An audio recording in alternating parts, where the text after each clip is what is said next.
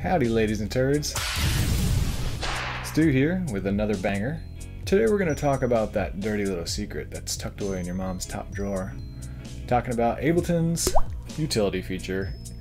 For such a small device with such tiny feet, it actually has a huge personality. So grab your mom and let's begin.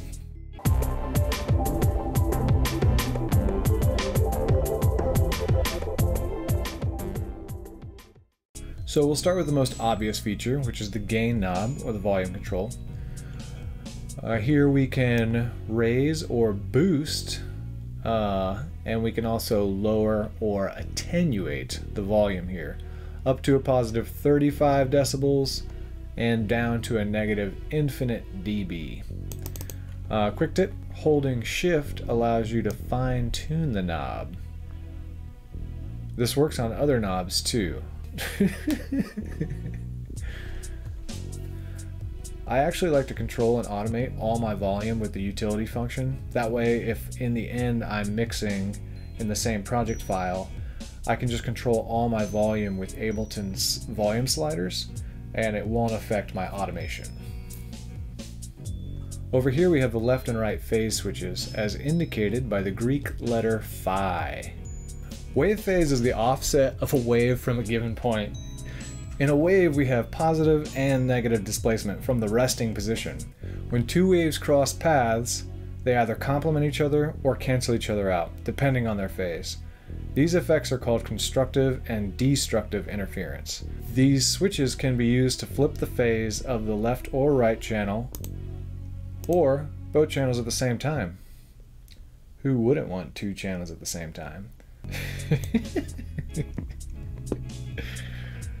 so this function can be utilized to fix phase issues. Here we have the channel mode, or as I like to call it, Le Channel mode. This can be used to pass only the left or right channel of a signal to the output. If we set it to the left, everything playing solely out of the left speaker now plays out of both speakers, and vice versa if we set it to the right. This is useful if we have a recording only playing out of one speaker and we want the output to be on both speakers. Pressing swap will flip the sounds coming out of the left and right channels. This can be useful when trying to decide whether a given instrument in a stereo ensemble recording is exactly central in the stereo image. If you swap the left and right stereo channels back and forth and the instrument you're concerned with changes its left and right position appreciably when you do this channel swap, then it isn't in the center of the recorded image. This next knob is actually hiding something from us. How could this be? If you right click it, you can switch it to mid-side mode. So mono, short for monophonic, is the center information we hear in our speakers, meaning we hear the same sound at the same time and at the same volume from the left and right speakers equally. This is center information, also known as mid. Stereo, short for stereophonic, will have mid information, but it will also have differing information that is unique to the left and right channels. This unique information is called side.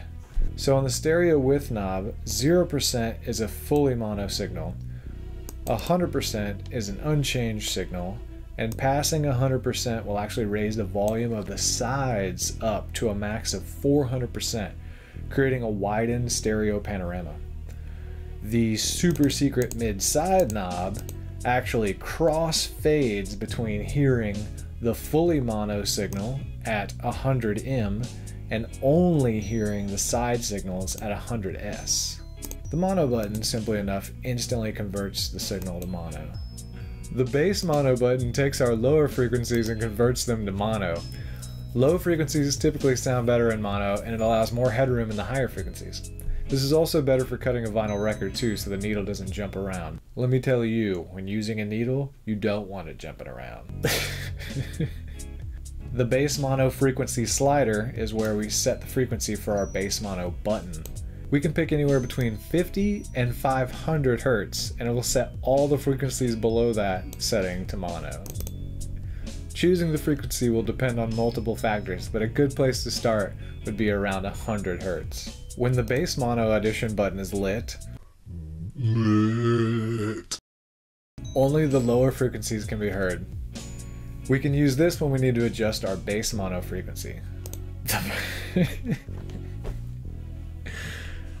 uh, at first glance, the balance knob looks like a panning knob, but this is actually a stereo balancer and not true panning. When we turn the knob to the left, it raises the volume of the left channel while lowering the volume of the right channel, and vice versa when we turn it to the right. A true pan would actually be able to move the entire sound more left or more right in the stereo field, but this is still a damn fine tool. The mute button stops the signal from passing through the utility and mutes the sound. Usually we put this at the ass end of a chain, but if we wanted to mute a signal and let a delay or reverb tail trail out, trail out, trail out, we can place the utility before a delay or reverb device. And the last stop on our funky wild ride is the DC switch.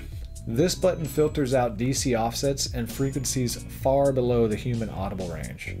FYI, the lowest frequency people can hear is 20 Hz. So DC or direct current is 0 Hz and it has no frequency, but it does have amplitude. DC will actually push our waveform outside of the center line of zero amplitude. Here you can see the blue line wobbles around the center of zero amplitude while the green line has been forced out of the nest and it wobbles around a center of 3 amplitude. This can cause distortion, clicks, loss of volume, and sometimes speaker damage. Flipping this button on will safely bring the wave back to the nest to wobble all day around zero amplitude. So that wraps it up for this crazy little effect.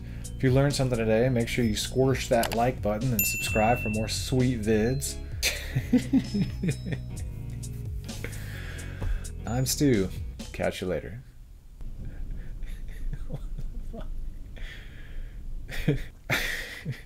okay. I'm fucking done.